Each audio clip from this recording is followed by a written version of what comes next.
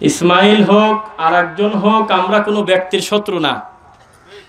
Mental সাজিয়ে গেছে, এক জালসা বন্ধ করতে যায়। জায়গায় জায়গায় পাকসাত পারি ঘুরি শেষ পর্যন্ত বলতেছে, স্লিপ অফ টাং।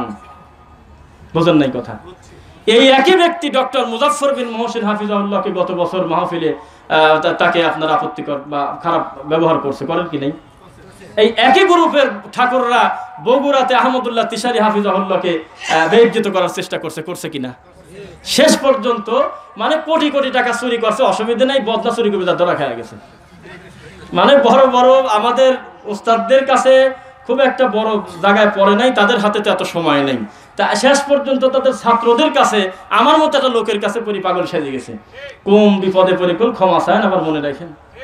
একুল সাধারণ বিগড়ে দেওয়া পাগল না। একুল পাগলের পর পিএইচডি করা। কথা বোঝেন নেই মনে হয়। ধর্ম বলতেই করে ওই লোকটা খালি জিয়ারত আর খুরমা বোঝে, তা কি জানেন আপনি? ধর্ম বলতেই খালি ফরজ নামাজের পর মোনাজাত বোঝে সেই লোকও। এত সহজে ক্ষমা চাওয়া যায় নাও। ওই কান মাথা শেষ করে দিয়েছেন আপনারা প্রবাসীরা। রফিকুল ইসলাম বিন সাইদের কাছে ক্ষমা চাও। ডক্টর মুজাফর বিন মোহসিনের কাছে ক্ষমা চাও। এইভাবে তোমার কাজটা ঠিক হয় নাই। তুমি একটা রানিং প্রোগ্রামে তুমি এইভাবে বাধা দিতে গেলে কেন? তুমি নিজে পাঁচটা ভালো কথা বলো। কোন বিপদে পড়ে আবার ভিডিওতে বলতেছে না যে আমার স্লিপ অফ টাং হয়েছে। আমি বুড়া মানুষ, ভুল তো করতেই পারি। আমাদের মনও এত ছোট না, আমরা আল্লাহ রাস্তে তোমাকে মাফ করে দিলাম। এখন তুমি তোমার ইমানের সাথে আদৌ তুমি মানে সত্যটা রাখতে পারবে কিনা সেটা তুমি দেখো। কথা কি বুঝতে পারলেন? তাহলে আমি কি মূলত উপকার করতেছি না ক্ষতি করতেছি? আপনি বলেন তো একবার। ওখানে যদি আমি বলতাম আমার সোনার সাথ সভাপতি, আমি তো এটা কাজ নাকি? আমি এরকম কাজ করলাম, কথা ঘুরিয়ে নিলাম আমি। তাহলে আমি কিন্তু জোকার শাস্তাম, জানেন আপনি আমি সত্যের উপর অবিচল থেকে একটু দেরিতে হলেও ফলটা আমি খুব ভালোভাবে পেলাম, আলহামদুলিল্লাহ। আর আমি কিন্তু আমার নিজস্ব উপকার করি নাই, আল্লাহ সাক্ষী। আমার এই ইসমাইল সাহেবের এক থাপ্পড়ের কারণে এক বছর মাঠে দাওয়াত দিয়ে যত মানুষ আমার দিনের দাওয়াতটা বা ভালো পাঁচটা কথা শোনে নাই, এই জালসা থামায় একটা ভিডিও, একটা অংশ লাখো লাখো কোটি কোটি মানুষের ঘরে পৌঁছে গেছে। তারা অন্তত চিন্তা নিল, ব্যাপারটা কি? ঘটনাটা কি? নামাজের পরে মোনাজাত ছাড়াও কি আবার নামাজ হয়? অন্তত এই চিন্তাটা তো মাথায় গেল। তাহলে ক্ষতি হয় নাই খুব একটা। দোয়া করেন, মাঝে মাঝে দুই চারটি থাপড় সাপড় দিয়ে নিজের ভুলটা মানুষের কাছে প্রকাশ করুক আর আমাদের মুখ দিয়ে সুন্নাতে এই কথাটা আরও বেশি মানুষকে ঘামায় দিক, ইনশাআল্লাহ। এখন ডক্টর মুজাফর বিন মহসিন, ডক্টর আহমদুল্লাহ তিসালি রফিকুল ইসলাম বিন সাইদ তারপরে আরও যারা রয়েছে, তাদের সাথে বিয়াদবি তো দূরের কথা। এখন কোন আলেমকে সঠিক দিনের পাঁচটা কথা বলতে বাধা দেওয়া তো বহু দূরের কথা। ও একেবারে পাগল সেজে যাবে, ইনশাআল্লাহ। আমরা কোনো ব্যক্তির শত্রু না, আল্লাহ ওই চাচাজিকে মাফ করে দিন। আমরা মানুষ হিসেবে তাকে ক্ষমা করে দিলাম। সত্যি যেন তিনি তার ভুল এবং তওবার উপরে অবিচল থাকেন। এবং যেই সমস্ত কথা আমরা বললাম, এই কথা যদি আল্লাহকে খুশি করার জন্য বলে থাকি, আল্লাহ আমাকে এবং যারা শুনলেন, সকলকে আমল করা তৌফিক দিন আল্লাহ আমিন। আর কোনো কথা নয়। আমি আপনাদের থেকে দোয়া চাই।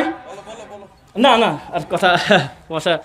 তো যেহেতু সাহেব চলে এসেছেন আলহামদুলিল্লাহ আমরা এই- এই- এই কাজ করতেছেন কেন উঠে যাচ্ছেন কেন? একটু কষ্ট করে বসেন যদি বিশেষ জরুরত না থাকে আমার মনে হয় সেটাই সুন্দর হবে। আমি কিন্তু বলছি এই কথাটা যদি মিথ্যা বলি আল্লাহ দুনিয়ার ক্যামেরা যেমন ধরা পড়তেছে বিচারের মাঠেও তুমি ধরা দিয়ে দিও আমাকে। সেটা কি? আপনার চাইতে বেশি গুরুত্ব নিয়ে আমার এখন পর্যন্ত অন্তরটা চাচ্ছে শায়েকের পাশে বসে গুরুত্ব দিয়ে গোটা প্রোগ্রামটা আমি শুনব ইনশাআল্লাহ। আর আপনি এত দ্রুত বিরক্তি আনলে আপনি আপনার নিজেকে খাটো করতেছেন বলে আমি মনে করি। কথা কি বুঝতে পারলেন? সঠিক দাওয়াতে যত বাধা আসবে, কাজ তত বেশি হবে না, কমবে। আল্লাহর কসম ইসমাইল সাহেব আমার প্রোগ্রামটা এইরকম করে থাবা দেওয়ার আগে ওই টাঙ্গাইলে মাহফিল ছিল মাত্র দুইটা, এখন নয়টা। কয়টা? তাহলে মানুষ কি আমাদের মানে ক্ষতি করতে চায়, ক্ষতি করতে পারতেছে না? দিনের দাওয়াতটা ঝাঁকি দিয়ে আতরের বোতল খসায় দিচ্ছে কোনটা? আমার, আমি বারবার বলেছি, আমি আমি আমার সাথে প্রথম যেদিন শায়েকের কথা হয়, সেদিন আমাকে বলতেছে, রফিক, দরদ মাখা ডাক নিয়ে যে, তুমি তোমার মতোই থাকো, কোনো কারেকশন নাই।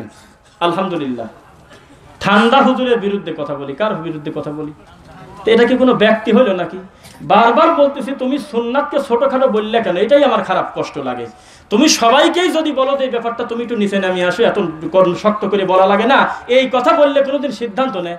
আপনি আমাকে একটা প্রশ্ন জিজ্ঞাসা করলেন, আমি বললাম, বাবা, এটাও ঠিক, ওটাও ঠিক। তাহলে বাড়িতে যাওয়ার সময় আপনি সিদ্ধান্ত নেবেন কোনটার আগেরটা না পরেরটা? তাহলে একদল বেজার হলো কি, কোন ঠাকুর কি বলল? অন্তত আমি সত্যটা বলি, চলে যাই, ভেজাল কমলো না। তাহলে এ মুশকিল বাধা রাখতেছে। ওটা, ওটাও চলে, এটাও চলে। এইটা কথা হইল নাকি? এই জন্য আমরা বলি যে সত্যর সাথে মিথ্যা মিশ্রণ করেন না। এখন ধরা এমনি পড়ে যাচ্ছেন। একটাকে বলে শেষ করে দেবো। বলতেছে যে আচ্ছা কষ্ট হচ্ছে না তো?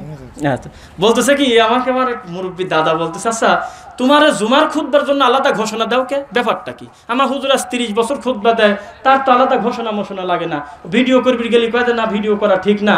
তো তোমরা প্রত্যেক খুদ্া গোটাটা ইউটিউবে পাই, ব্যাপারটা কি? তো বললাম, তোরা ভয়তে দেয় না, আমরা সাহসে দেই। কেননা ও চাচ্ছে না যে আমার এই আব্দুল কাদের জিলানির মার খাওয়ার গল্প, বাপের বড়ই খাওয়ার গল্পটা মানুষ ইউটিউবে দেখে ফেলাক। একবারও চাচ্ছে না রাবেয়া বস্তির গল্পটা টাইনিতে আমি এগারো সময় টানলাম, এটা মানুষ দেখুক। আর আমরা চাচ্ছি যে আমরা শক্তি আমাদের একটা আছে সেটা কি? বাল্লিগু আননি বলাও আয়া। ওরা বলতেছে আমার মুফতি ছাড়া কোনো কথাই তো নাই। উপরতলাতে যেটা পাশ হবে ওইটা পাশ করব। আর আমরা বলছি কি রাসুসাল্লামের একটা চূড়ান্ত সুন্নাতও যদি আমার জানা থাকে নিজের ভিতরে সীমাবদ্ধ না রেখে এই সুন্নাতটা আরও দশজনকে বলে দেবো ইনশাল্লাহ কিন্তু তদন্ত করব কথা রাসুলের কিনা ব্যাস। আর তুমি রেডি হয়ে বসে আসো যে না ওগুলো তো আমার কাম না। প্রশ্ন দিলেই রাগ করে। আমার করে সাহেবদের কাছে ষাটটা প্রশ্ন দিলে ষাটটাই কত সুন্দর গুরুত্ব দিয়ে উত্তর দিয়ে দেয়। দুটি প্রশ্ন দিলেই রাগ করি বলে যে এইসব ভেজাল নিয়ে আইসে ওকে এই করো কেন, সেই করো কেন, তো ভয়ও পায় না, আমরা পাই। আর কি কোনো স্পষ্টতার দরকার আছে? শেষে বলতেছে না, এই কথাটা ঠিক আছে। আমি বললাম যে, দাদা, শুধুমাত্র মতের, সামান্য কিছু মতের বিরোধীর কারণে আল্লাহর ঘর যে টুপিয়ালা ভেঙে দিতে পুরায় দিতে খারাপ লাগে, সেই লোক যদি আমাদের বক্তব্যের কোনো ভুল পাত কি বসে থাকতো?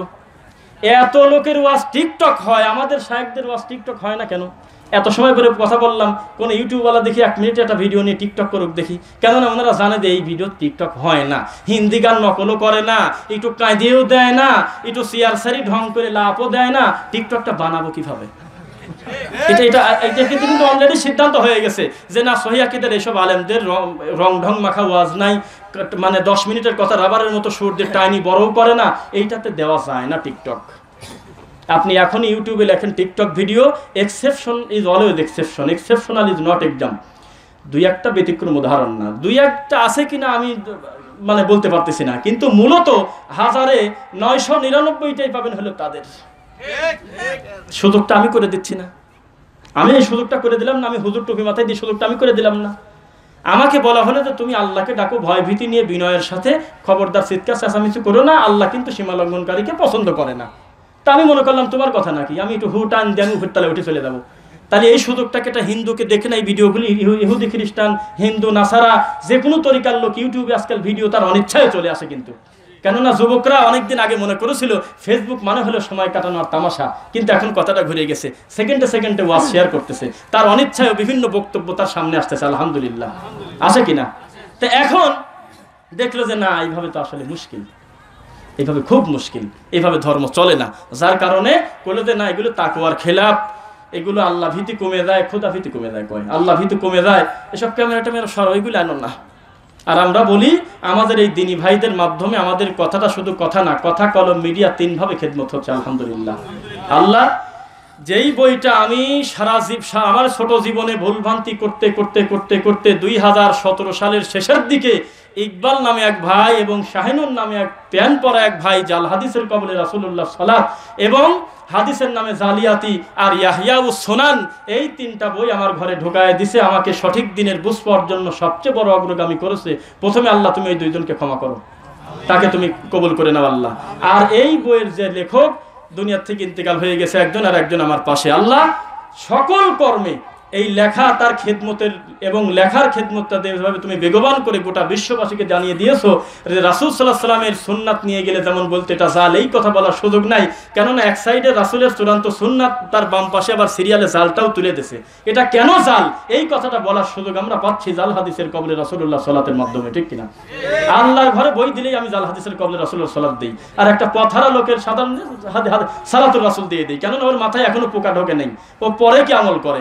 আর এই হুজুর তো বহু প্রশ্ন আনবিনি। এই জন্য জাল হাদিসের কবলে আবার নেগেটিভটাও তুলে দেওয়া আছে। যে এই কেন এটা ভুল? এই ভুলটাও দেওয়া আছে, আলহামদুলিল্লাহ। আল্লাহ যে কথাগুলো বললাম, এই কথার ভিতরে আমি মানুষ, আমার কোনো ভুল হলে তুমি ক্ষমা করে দাও, আল্লাহ। আল্লাহ, আমাকে তুমি দিনের বিষয়ে আমার আর আরও অগ্রগামী হয়ে আরও যেন দিন শিখতে পারি এই বিনয়ী এবং এই তাকেও আমার ভিতরে তুমি অর্জন করা তৌফিক দাও, আল্লাহ। আর কোনো কথা নয়, ধৈর্য সহকারে একটু নড়াচড়া করবেন না ইনশাল্লাহ খুব লম্বা সময় নয়, আমরা যে যেখানে আসি অন্য দিনই ভাই যারা ভিতর দিয়ে ঢুকবে, তাদেরকে একটু পরিবেশ করে দিবেন, কোনো হই হল্লা করবেন না ইনশাল্লাহ আল্লাহ আমাদের সকলকে ক্ষমা করুন। দোয়া আর পড়লাম না, শেষে দোয়া একবারে পড়ে দেবে, গুরুত্ব সহকারে। আসসালামু আলাইকুম রহমতুল্লাহ বারকাতু এটা?